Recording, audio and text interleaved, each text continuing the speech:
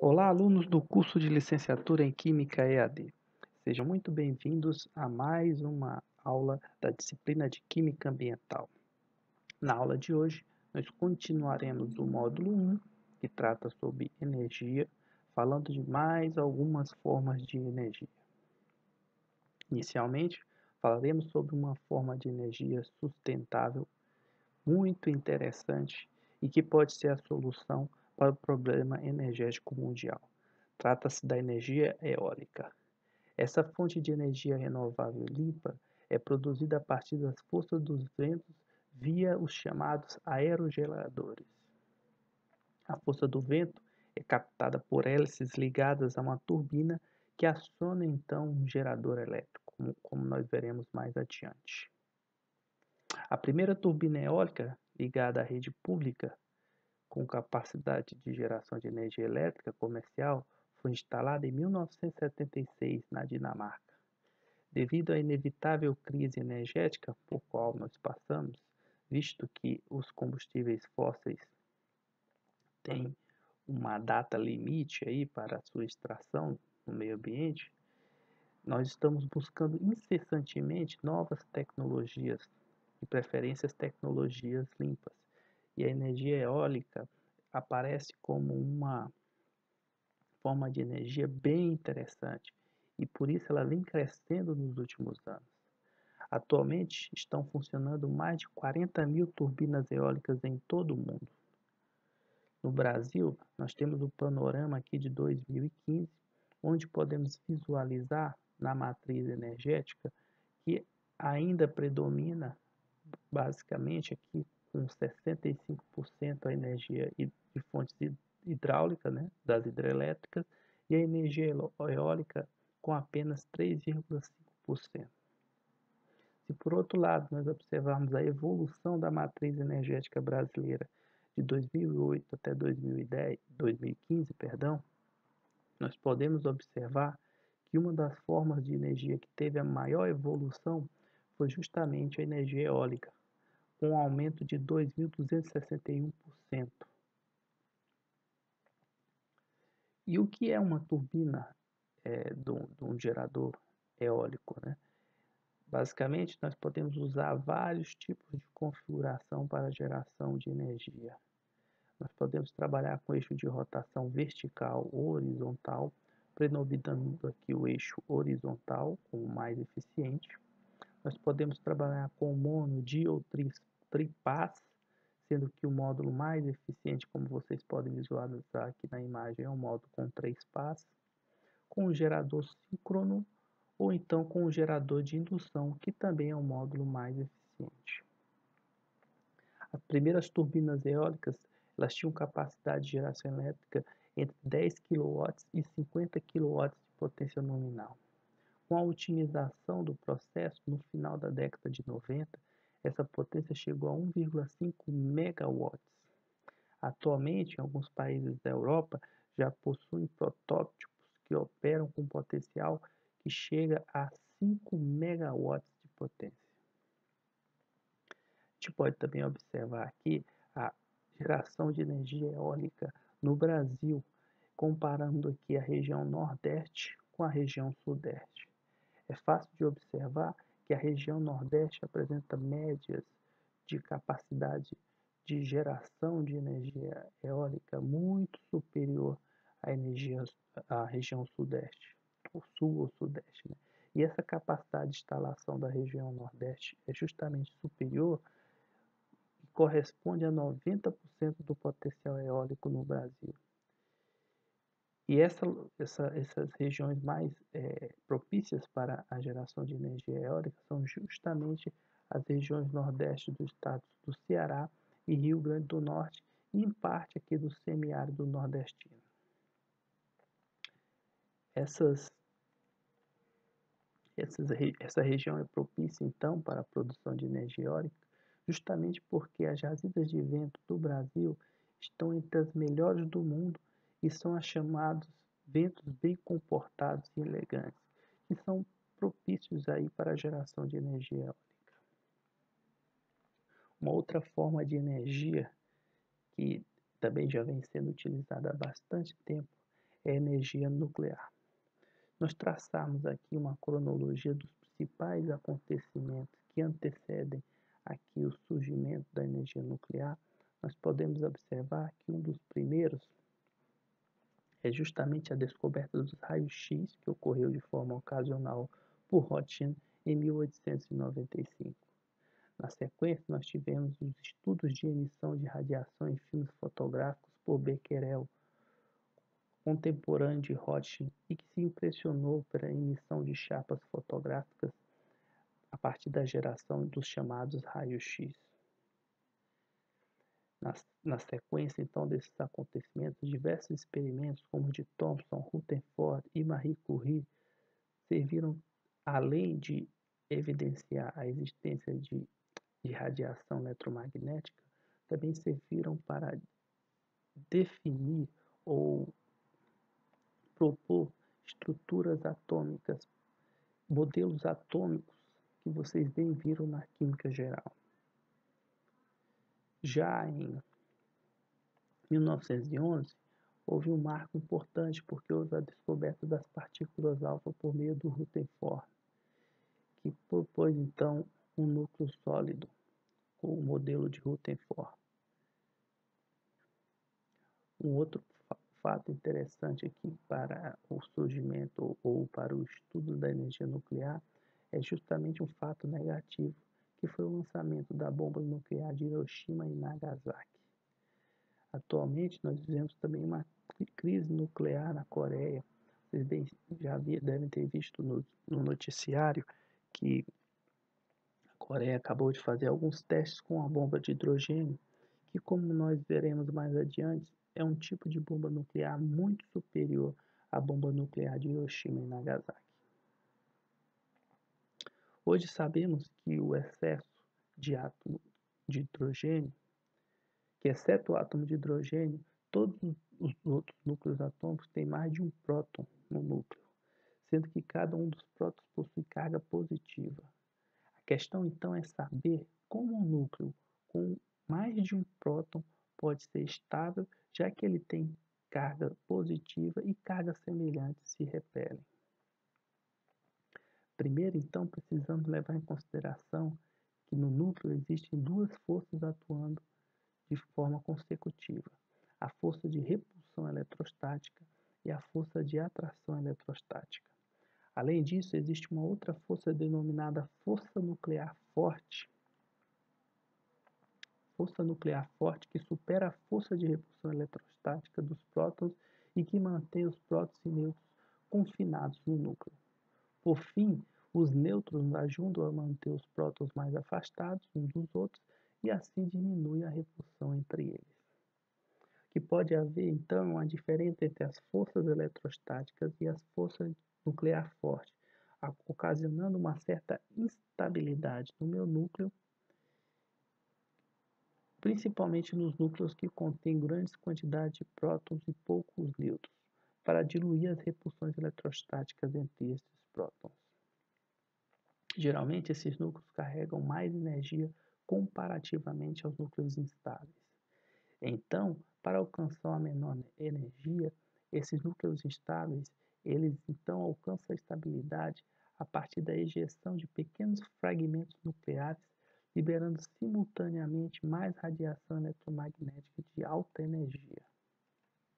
Como nós podemos visualizar aqui na imagem, a gente tem um núcleo instável, ele alcança a estabilidade formando um núcleo estável a partir da liberação de radiação.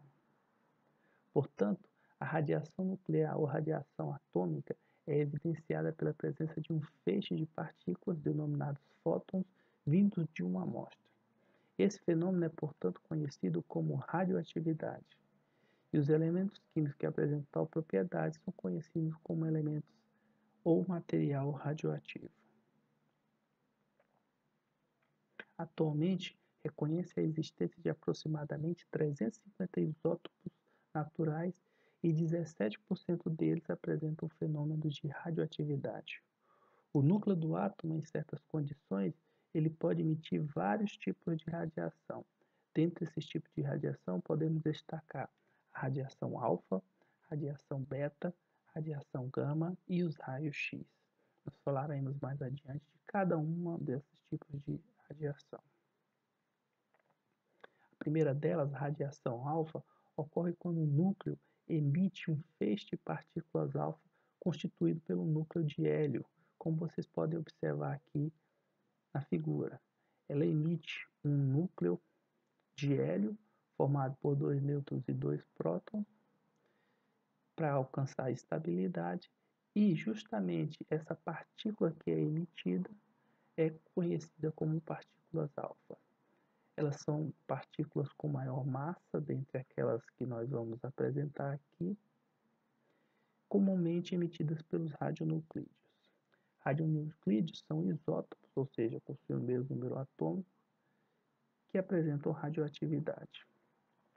As partículas alfas, elas são simbolizadas, portanto, como um símbolo de hélio, né, com massa 4, número atômico 2, em que 4 representa a massa e 2 número atômico, e também com carga 2+, que é omitida na nossa simbologia. No caso da radiação beta, o que temos é um feixe de elétrons, os quais são chamados partículas beta. Diferentemente das partículas alfas, que são núcleos semelhantes ao hélio, na emissão de radiação beta, nós temos a emissão de um feixe de elétrons para dar estabilidade ao meu núcleo atômico.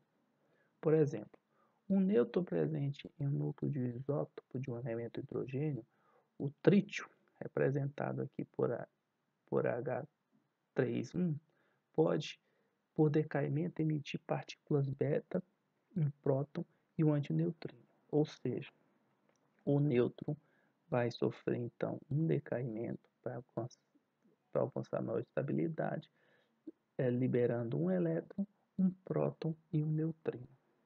Esse neutrino ou antineutrino é a carga, que, é a espécie que re, remanescente aqui do nêutron após a emissão de um elétron e de um próton. Já o processo de emissão de radiação gama está diretamente associado à transição entre os níveis de energia dentro de um núcleo, semelhante à energia que é trans, transmitida durante o processo é, nucleares. Assim como os átomos possuem níveis de energia dos orbitais, os núcleos atômicos também têm seus próprios níveis de energia. A radiação alfa, portanto, consiste em partículas de fótons com alta energia sendo representadas geralmente pelo símbolo, pela simbologia gama 00.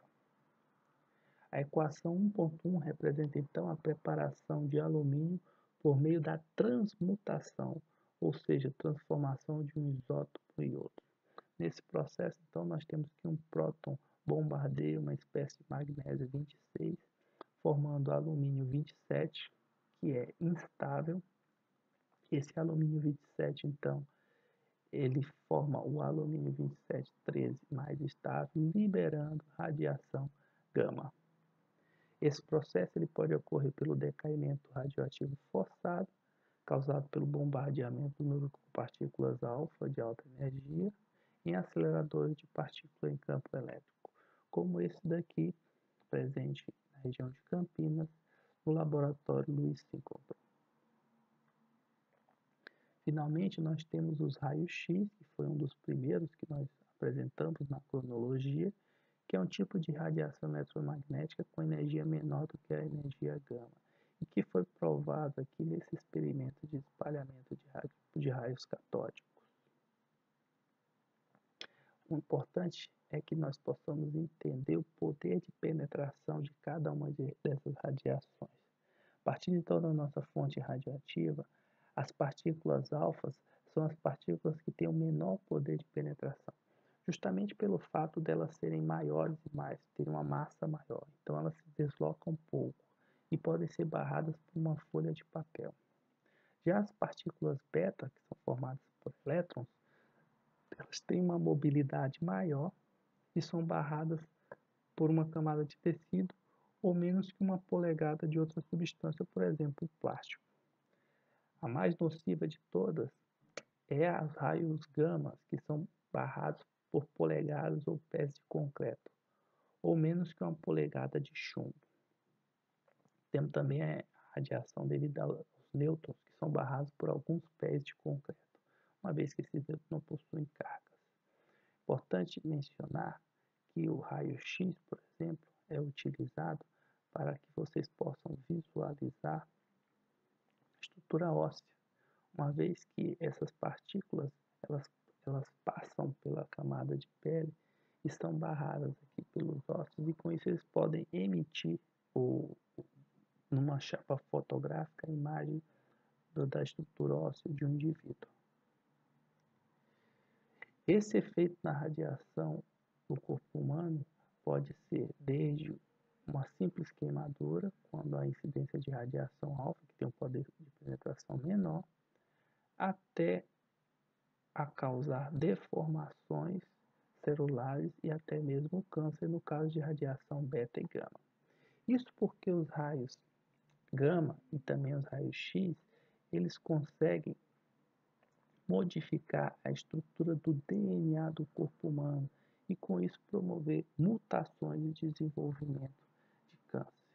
Um instrumento que é muito empregado para que seja feito controle do nível de radiação beta e gama é o contador Geiger, que é empregado aqui para medir a radiação de um determinado ambiente. Entanto, para que possamos gerar energia a partir do processo de emissão da radiação, é necessário que nós tenhamos aí um processo de fisão nuclear. A fisão nuclear nada mais é do que um processo pelo qual o núcleo atômico com grande massa se divide produzindo núcleos com massas menores. Ela ocorre quando o núcleo instável absorve um nêutron. Como o nêutron não apresenta carga elétrica, ele atravessa o núcleo eletrônico da eletrosfera do átomo facilmente e assim é capaz de penetrar no núcleo atômico, causando então a fisão desse núcleo. Experimentos com alvo de urânio foram propostos por Érico Fermi e demonstram a fisão nuclear. Nesse experimento nós temos o urânio 235 sendo bombardeado por nêutrons, formando então é, promovendo então a divisão desse núcleo de urânio em dois outros núcleos, como nós podemos visualizar aqui na imagem. Urânio 235, ele pode se fundir em plutônio 91 e bário 142 e em seguida por uma reação em cadeia autossustentada, já que continua sendo gerado nêutrons aqui no meu sistema, nós podemos ter novas divisões e a geração sucessiva de energia. De forma que já foram identificados mais de 30 núcleos com número atômico intermediário, representados aqui na nossa equação geral como A e B. A energia liberada durante a fisão é muito grande e pode ser usada para produzir energia elétrica pelo movimento de geradores elétricos a partir do calor liberado. Ou seja, a partir então do calor liberado no processo de fisão nuclear, nós podemos aquecer a água, por exemplo, e a partir do vapor gerado na água, movimentar um gerador elétrico. O interessante é que a energia nuclear ela é muito mais eficiente do que, por exemplo, a energia proveniente da queima do carvão, uma vez que precisamos de 3 mil toneladas de carvão para, para gerar uma energia elétrica com energia equivalente a apenas 1 kg de urânio 235, urânio enriquecido de 2 a 5%. E como funciona então um reator nuclear? Né? Nós exemplificaremos aqui a partir de um reator de água pressurizada.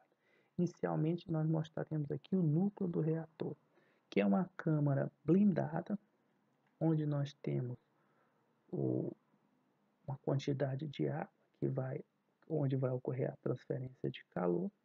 Nós temos varetas de urânio enriquecido, que vão promover a reação de fisão nuclear, liberando calor, que passa para essas, esses bastões de calor, aquece a água e gera vapor. Essa água aquecida, então, ela passa por um trocador de calor, gerando aqui o meu vapor, e esse gás alimenta então um gerador. É interessante que o gás tanto o gás como a água aquecida são refrigerados ou condensados e recirculados aqui no meu sistema.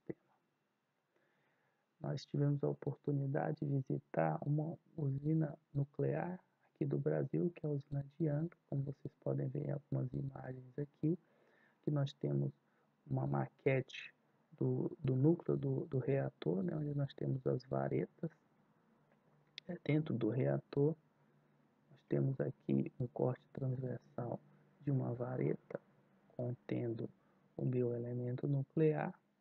E aqui nós temos um exemplo de um, do, do processo que ocorre na usina de Angra.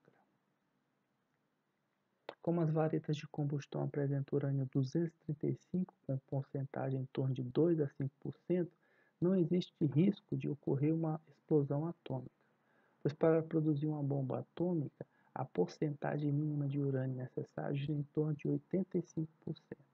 Por exemplo, essa bomba que explodiu em Hiroshima e Nagasaki foi uma bomba atômica produzida a partir do enriquecimento do urânio 235 em uma proporção de 85%. Como eu mencionei mais um pouco atrás, a bomba que o, a Coreia está utilizando aí, que está testando, é bem mais superior a essa bomba atômica, porque ela é uma bomba de hidrogênio.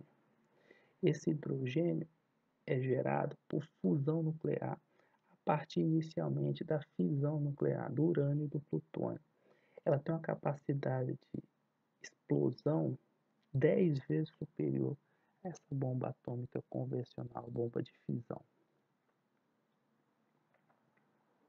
Contudo, o que pode acontecer num, num gerador é, preocupante é a fusão do núcleo pelo superaquecimento desse reator, caso ocorra algum erro operacional numa usina nuclear, que pode permitir a passagem do material radioativo pelas paredes do recipiente que contém as varetas de combustão, levando então à liberação da radiação.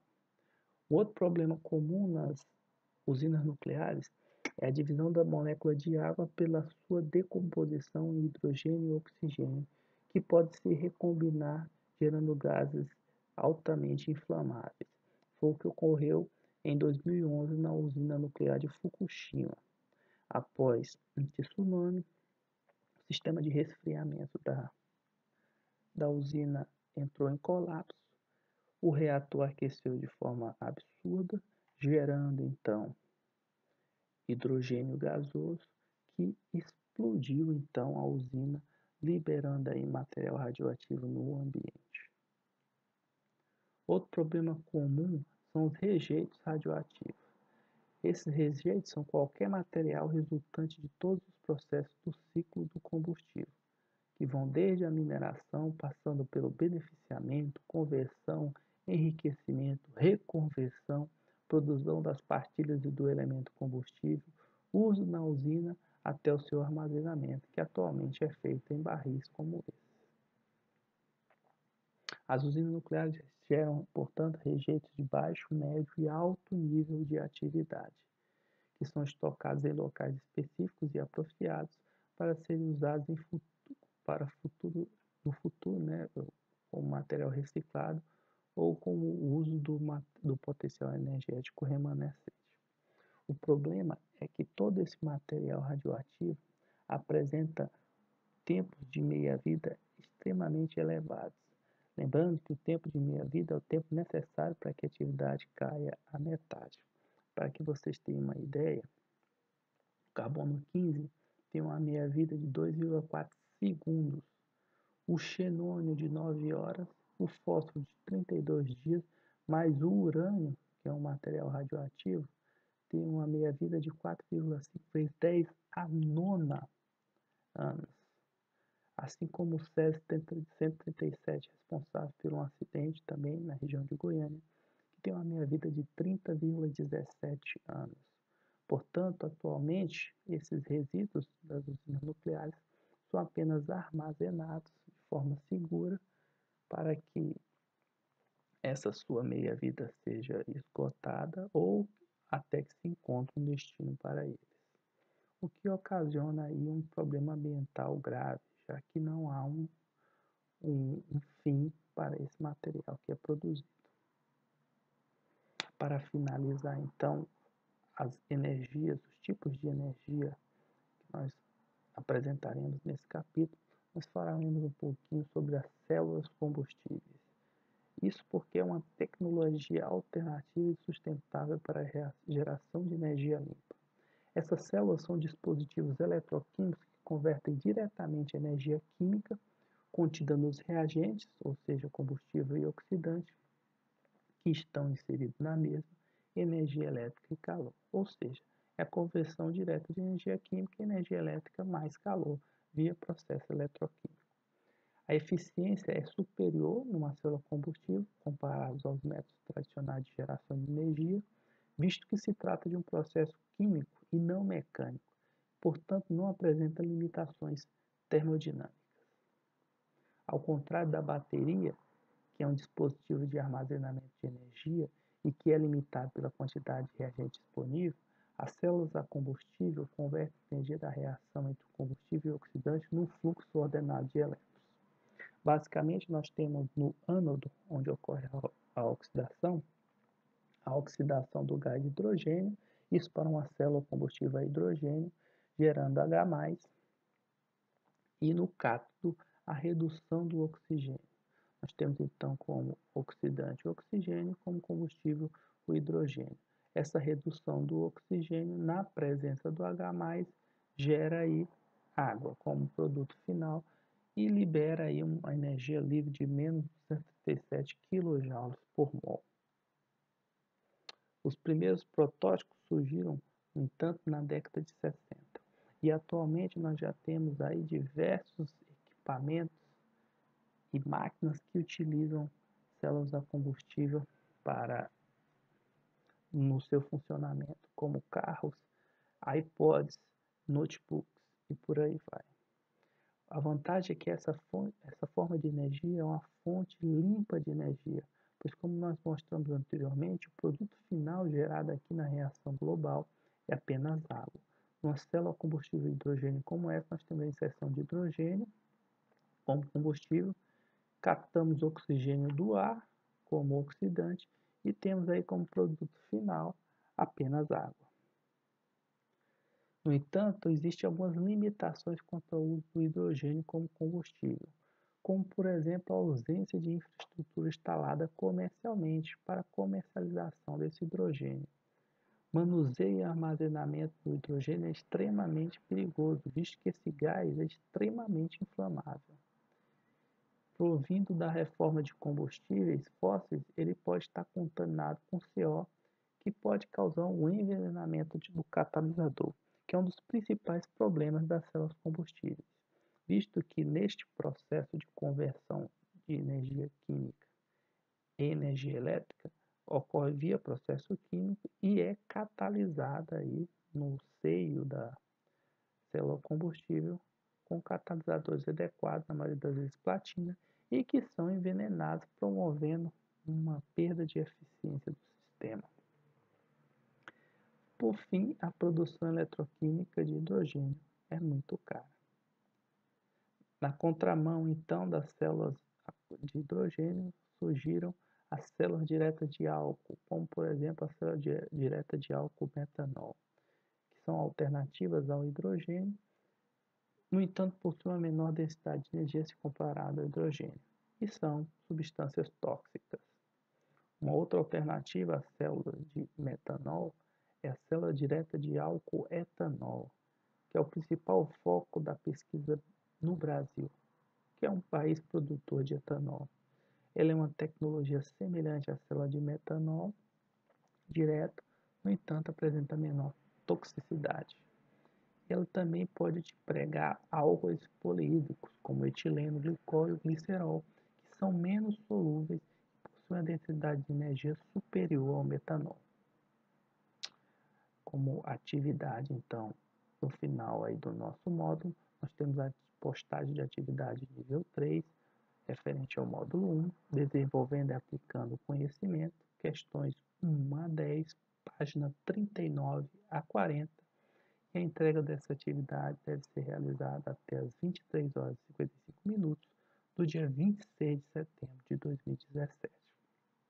Temos também a atividade online nível 1, são atividades 1, 2, 3, 4, 5 e 6 é, da página 39, que devem ser realizadas na plataforma até as 23 horas e 55 minutos do dia 19 de setembro de 2017.